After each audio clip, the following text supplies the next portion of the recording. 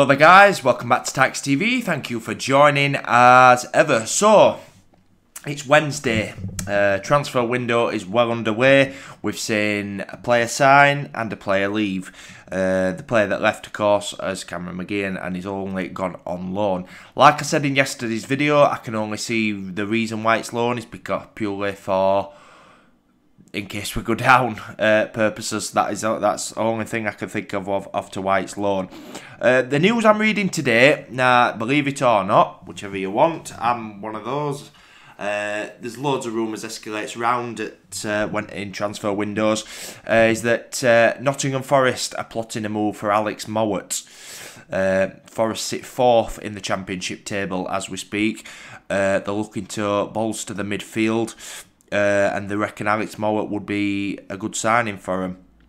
Uh, now, when you at a club like us who are joint bottom of the league and Nottingham Forest come look, I'm sure that's going to turn uh, turn players' heads. But I want to talk about in this video how crucial it is in this window, and if it would be a successful window, had we not necessarily bring in the targets we see, but also if we did keep Alex Mowatt and Cauley Woodrow, them two alone staying at the club till the end of the season, I, I would personally give that a success, give it a successful window because they're the two players that are going to be linked all over. We, we already saw it when we went to Derby. We saw Woodrow not even in the squad.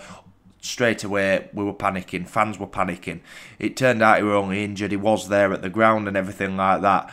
But that that's what it's come to when a player is not even included, that we just straight away think he's gone, he's gone, he's gone, he's gone, and uh, yeah, not even considering he could be injured, blah blah blah. So I think a lot, a lot of us panic when stuff like that happens.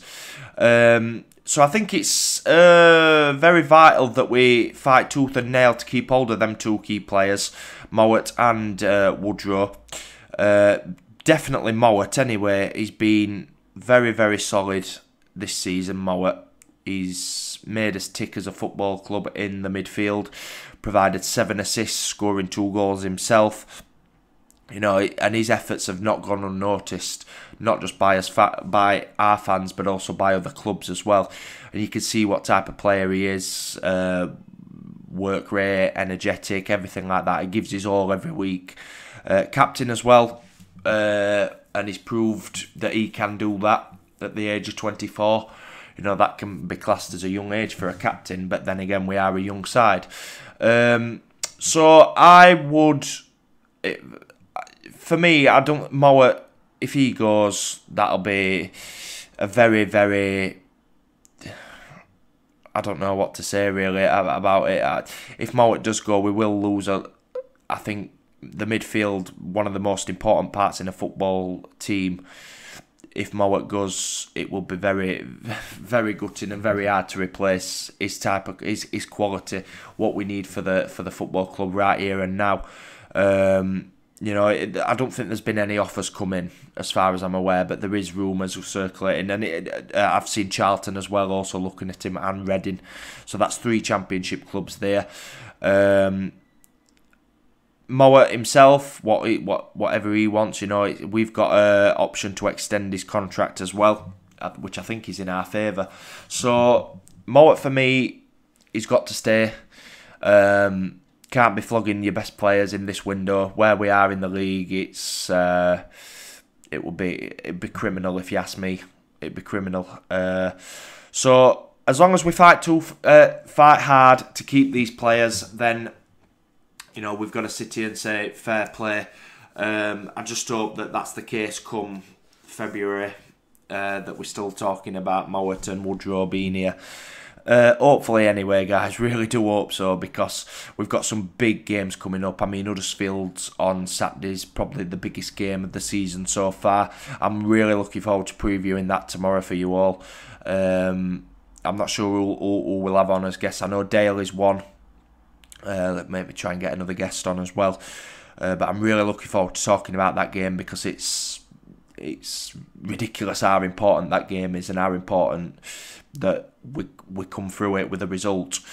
Um, so yeah, guys. Obviously, we'll keep you updated throughout the day uh, if any news does come out regarding players or uh, whatever, because uh, that's what it's about. This uh, January January transfer window. You know, there's rumours all the time, and I think it's a lot more. A lot more uh, fr- frustrating, a lot more. Um, what's the word? more stuff seems to come out in January than it does over the summer. Because over the summer you've got time to actually, you know, recruit players. January transfers come come in day, day in day out. So I'm hoping that we can add a few more in there as well as keeping the best uh, assets that we've got. You know, like, like players that aren't necessarily playing, i.e., like McGeehan, like McGeehan who weren't playing I will not lose too much sleep over if they leave because they're not even featuring on the bench, never mind in the starting 11. But I still think we need a couple more players in there. Um, I definitely would. Uh, I definitely would invest in another striker, another maybe another two defenders, right back and a centre back, or maybe even two centre backs. I don't know.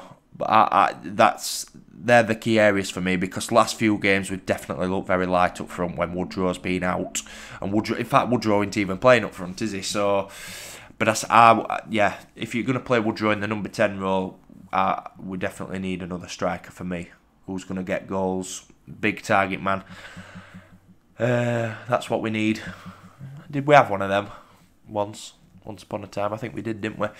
So, alright then, guys. Well, thank you for watching this little video. Remember to subscribe if uh, you're new to the channel. Uh, smash that like button as well. Uh, always nice to have great support. And we'll see you. If there's any news comes out, we will uh, we will update you. So thank you so much for watching, guys. You Reds, and I'll see you in the next video.